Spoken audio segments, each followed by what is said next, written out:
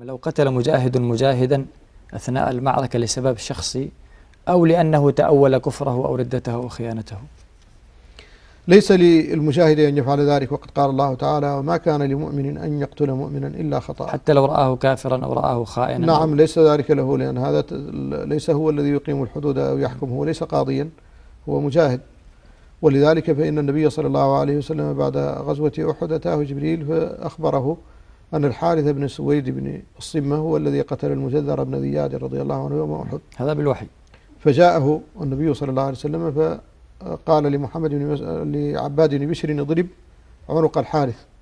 قال الحارث علامة يا رسول الله فوالله ما نافقت ولا شككت في ديني فقال لا أقتلك كفرا وإنما أقتلك بالمجذر بن زياد فقد قتلته. فقال أشهد أن لا إله إلا الله وأنك رسول الله فوالله ما رآني أحد حين قتلت قتلته وإنما قتلته ثأرا بأبي فقد قتله في حرب البعاث.